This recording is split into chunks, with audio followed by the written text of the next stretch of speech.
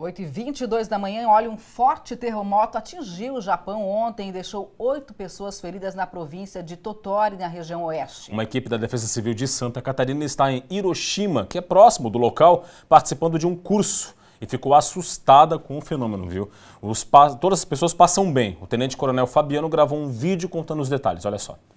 Nós estávamos no prédio da prefeitura de Hiroshima, tendo uma palestra sobre os procedimentos que eles adotaram por conta do desastre que ocorreu em 2014, desastre de movimentos de massa, deslizamento, escorregamento.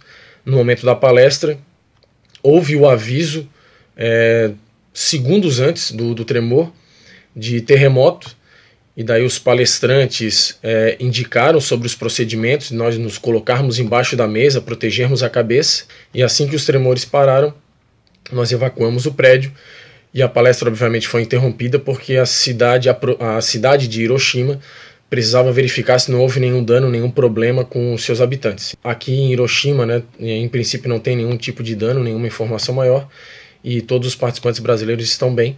E o que salta aos olhos é toda a preparação, todas as informações que os japoneses fornecem e possibilitam à população para que ela responda a um evento dessa magnitude.